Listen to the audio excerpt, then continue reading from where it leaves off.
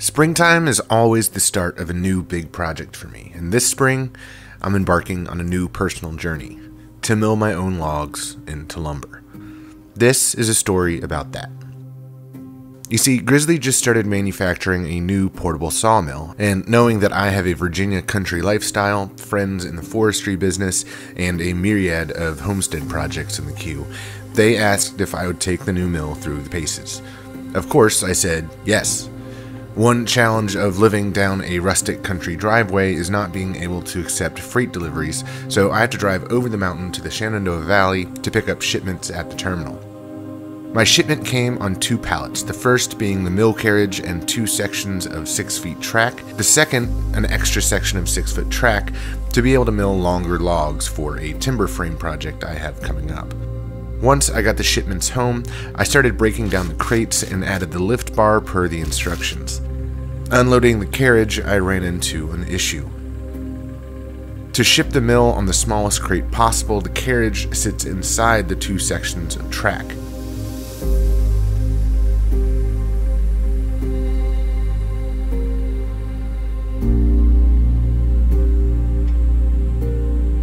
That, combined with the height of my trailer and the size of my tractor, I ran out of travel height in my front end loader to be able to lift the carriage high enough to clear the track. Some followers on Instagram suggested I let the air out of my trailer tires to lower it enough, which is a great suggestion, but I opted to ask my farmer neighbor Forrest to come down with his big tractor.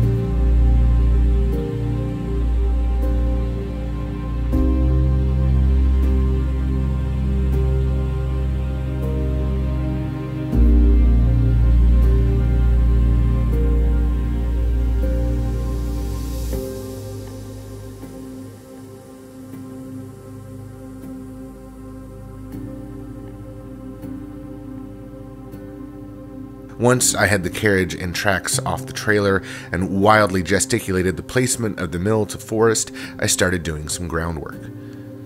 The mill has leveling feet to be able to level the track on uneven ground, and Grizzly suggests putting some boards down for something for the leveling feet to level off of. I basically live on the side of a mountain and knew I was going to have a pretty permanent setup for my mill, so I dug out the side of the hill and used some 6x6s I had reclaimed from another project around the house.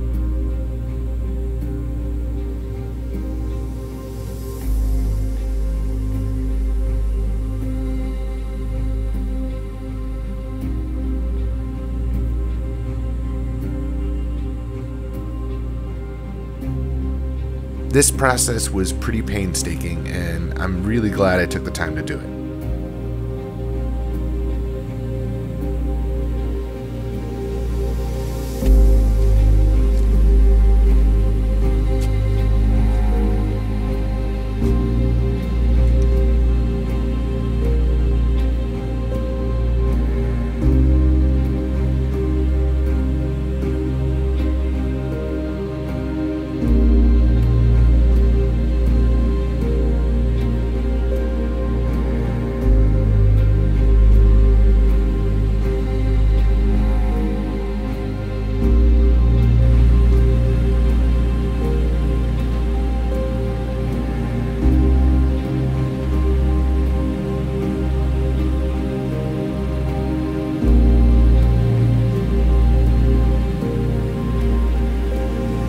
After I set the tracks in their place, I connected the sections together with the brackets and tightening rods.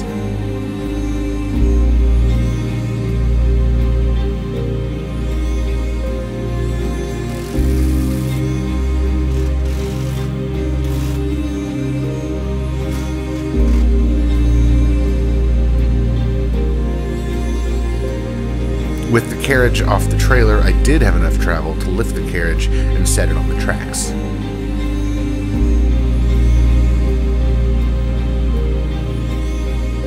This would have been much easier with two people, but I was able to get it done just by myself.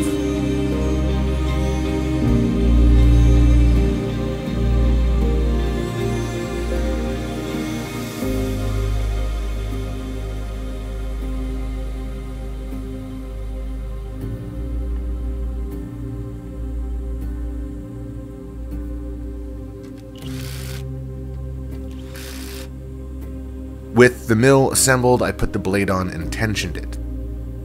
The wheels are 18 and 3 quarter inches, which, after talking to some people at Timberwolf Blades, is a great size wheel as it doesn't fatigue the metal as much as some other mills with smaller wheels. Then I turn my attention to the engine. The mill comes with a 420cc 13.5 horsepower Briggs & Stratton engine. I added the motor oil that Briggs & Stratton recommends for my climate, which just happened to be 10W30, then added gas. Briggs and Stratton says to add fuel stabilizer to regular ethanol gas, but any of my gas tools I like to use non-ethanol gas as a habit to keep the engines clean and it's readily accessible to me.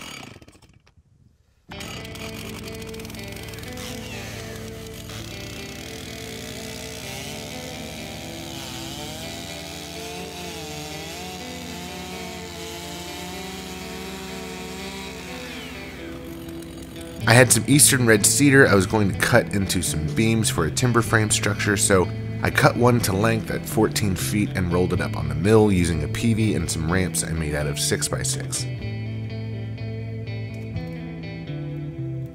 I added some water with a little bit of dish soap to the coolant reservoir and fired up the sawmill. Even though this is soft eastern red cedar, a brand new blade, and I have little experience, I have to say I was floored by how easy it is to push the mill through the cut. Taking the time to make sure the track was level probably helped too, but the hardest part of the whole process is just getting the log to the mill and rolling it onto the bed. I have seen some very slick setups involving a winch to load logs onto sawmills, which I might make in the future. The bed can accommodate a 28 inch log diameter with a max width cut of 23.5 inches, which is a bigger log than I would likely want to handle with my tractor, trailer, and big beefy arms. Matt Cremona might disagree. With the added track, I am sawing logs about 14 and a half feet long.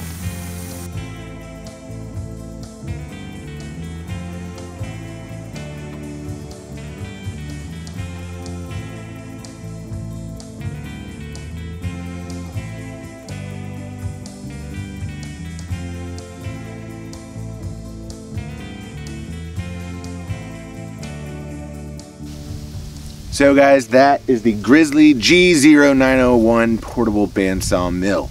Um, I gotta say, I am very excited. Uh, the most time consuming thing so far has been getting the logs onto my trailer and uh, down to the mill and then getting them on the mill. But once they're on the mill, the, the mill is performing just excellently. Uh, the, the carriage travels really well on the tracks. I took the time to get the ground uh, level, to get uh, good level base for the bed, and uh, taking the time to do that groundwork really paid off. I actually uh, made a newbie Sawyer mistake, and I was trying to move uh, a 14 foot log up on the bed and shimmy it up to maximize the, the length of cut, and I actually pushed the whole track off of the blocks that I had just set, the leveling feet off the blocks that I had just set. And I'll show a clip of that uh, after my wrap up here in the blooper reel. But it wasn't that big of a deal because now that I had the, the, the blocks level with the ground, I was just able to shim up um, just a little bit here and there so the bed was actually level from front to back and side to side. And uh, just really, really, just I love being able to make my own posts, my own beams, my own lumber out of logs. So logs to lumber is uh, a super, super enjoyable process. Uh, these logs are getting turned into timbers for a poolside structure that we are calling the cantina. Uh, this will be uh, a timber framed covered patio 12 by 20 structure, uh, traditional mortise and tenons, and uh, knee braces, the, the whole nine yard posts and beams, uh, king posts, rafters, everything. Uh, that's going to take me a while. That's a pretty daunting, pretty daunting project, but I'm getting it done, and this mill is going to help me do that. Um, if you have any questions or comments, please leave them down below. Uh, if you want to link to this, I will be offering a discount code, and uh, I'll link that in the description below as well. Uh, just very excited. I'm glad that you guys are here to follow along. And uh, until next time, guys, I'm Will Walker. This is the William Walker Company Project channel. I'll see you guys real soon.